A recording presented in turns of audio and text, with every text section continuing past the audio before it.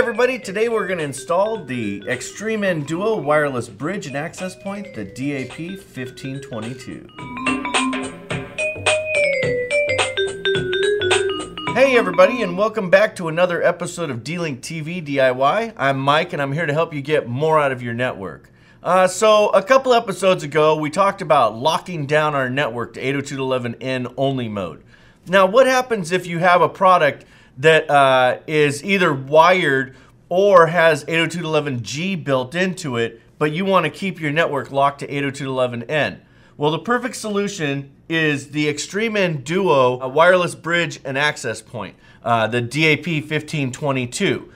Um, what's cool about this product is it's a multi-port um, 802.11n bridge or access point. So it has four ports here that you could plug wired devices into. And then on the back here, there's a little switch that you can switch it from being a bridge or an access point.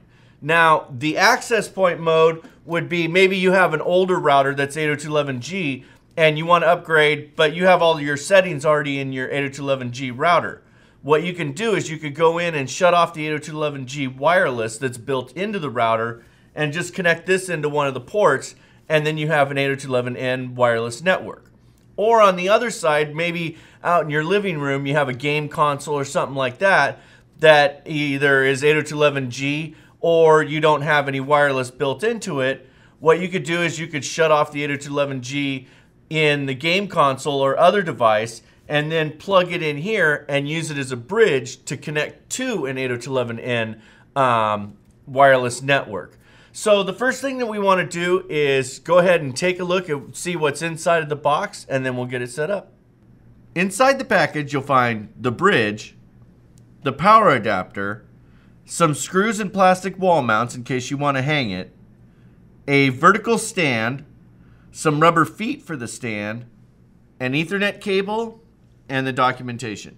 So the first thing that we're going to want to do before we install the actual hardware is remove this little plastic film from the front and the back of the bridge. If we look in the quick install guide, you'll see that the next thing that we need to do is choose which position we want to put the switch in. For this installation, we're installing the bridge, so we'll switch the switch to bridge mode.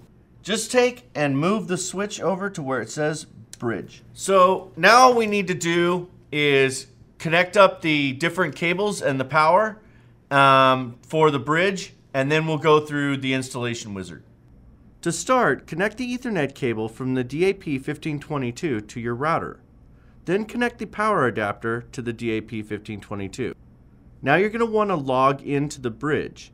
Click the Setup tab at the top and then the Wizard button to the left. In the middle of the screen, click the Launch Wizard button. The first screen that comes up will ask you for a name for your bridge. You don't really need to change it unless you have more than one.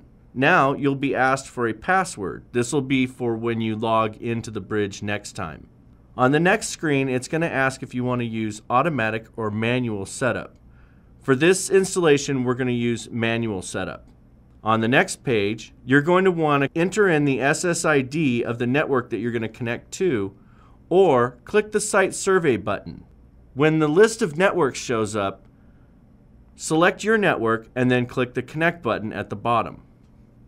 On the next page is where you will select the type of security you're going to use to connect to your wireless network. Once you click Next, you'll be asked to enter the passphrase that matches your security settings. After entering the passphrase, you'll be done. When the web UI comes back up, just click the Save Settings button. Now you'll want to disconnect the DAP 1522's power. Disconnect the Ethernet cable from the router. Connect the Ethernet cable into the device that you want to add wireless networking to. Now, just reconnect the power to the DAP 1522 and you're done. Well, there you have it. The easiest way to make sure that your network stays 802.11n or to add wireless to a wired device. So that's going to do it for this week on D-Link TV DIY. I'm Mike, and thanks for watching.